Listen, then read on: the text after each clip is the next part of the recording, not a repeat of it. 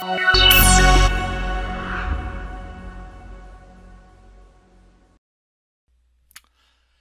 PADS, you can define, edit, and review constraints both in schematic and layout environments. We'll start with the schematic. In the schematic environment, the constraints interface is oriented on defining constraints for nets and components.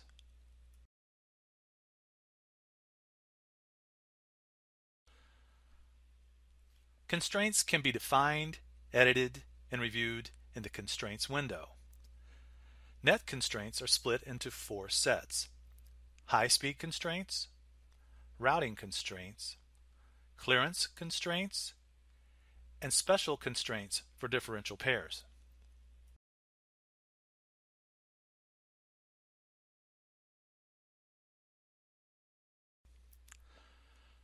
Constraint names shown in the Constraints window are supplied with the tooltips explaining the meaning of the constraints.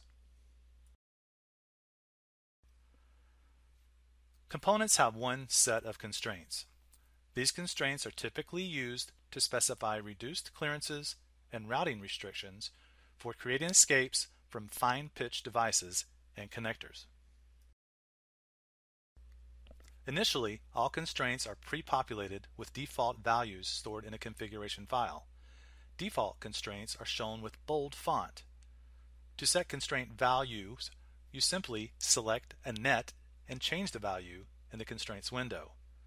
Modified values are displayed with a regular font. If you need to set the same value to multiple constraints or nets, you can select multiple cells and change the value only once. You can also create constraint definitions for net classes and to define match length groups. Creating a net class is pretty straightforward. First you select a net to be included in the net class and specify constraint values for the class. Then you use create new class command and specify the name of the class. The selected net is automatically assigned to the class. Constraint definitions for net classes are written to configuration file and can be reused in your next project. Once the new net class is created, you can assign the remaining nets to that class so they acquire constraints defined for the class. To do this, we select nets. We can do it one at a time or as a group, and the selected nets show up in the constraints window. Now, we only change the net class in the PCB class row, and all the nets now have the constraints defined for the class.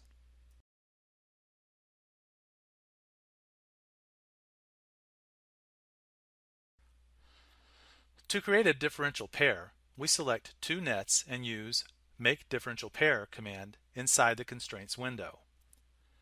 Now we define differential pair specific constraint values for this pair, like trace width and gap between traces. It is also possible to specify minimum and maximum length for the pair. Here we define maximum length as 9 inches. You may notice that in the Properties window, the diff pair property for the selected net shows the name of the opposite net in the pair.